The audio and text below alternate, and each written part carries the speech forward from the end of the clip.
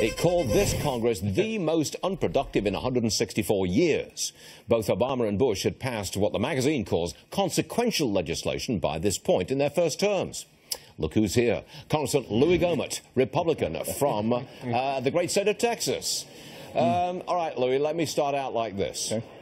People who voted for the Republican Party feel betrayed. They feel that the Republican Party has failed them. Not you in the Freedom Caucus, not the moderates, the party This as a whole. They feel it's failed. What do you say? Well, Stuart, I feel the same way.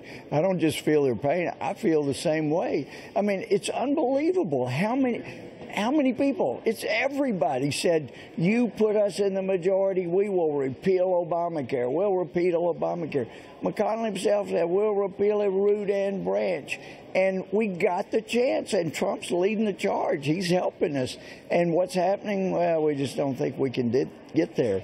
So I love what the president's doing. He's going to have every one of the senators there. And I hope, Stuart, the message is going to be look, you all promised you would repeal it if you got the majority, and you got it, and you voted for repeal in the last Congress, and now I'll sign it as soon as you vote to repeal it. You better not have been lying to your constituents because you're going to get the chance to vote Okay. to repeal to Yep, keep you your promise. And if you don't, we're going to find somebody that will That's keep health their promise. Let's, let's Yeah. talk tax cuts. Now, and Because that's, I think we got to do them both. you- you- I think we okay, got to do but them you've got to get together. You've got to act Yeah. as a governing party, regardless of differences Sure. within the party. Now, are you? Is, is the Republican Party prepared to do this, or are you Well- going to say, "Oh, I'm in principle, I just can't do this"? Well, I actually think that there are people within the Republican Party in this building I'm standing in who are not interested in seeing Trump succeed. And I tell you what, it's not about Trump succeeding. It's about the American people succeeding because Trump succeeds.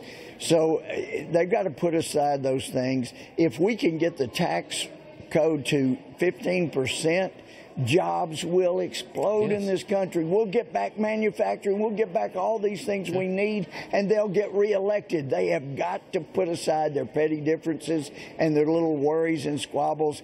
And Trump has a great plan. You we need to enact it. You We've got all- to. You we have got all to. have to. You all Absolutely. have to accept compromise. Okay, I, I got to move Well, on now, to wait this. a minute. You said accept, accept compromise. I'll compromise on the little things, but on the big things like actually repealing Obamacare and getting something that, that saves lives, you know, we can repeal, we can compromise on the little things, but we got to repeal and we got to do the tax reform. Major cuts. We can't have little tweaks on the cuts.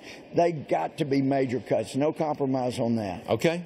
We hear you, Louie Gohmert. You're still a good friend of the, fr- of the show. We appreciate you being us. Thank you, sir. you, Stuart. Thank you.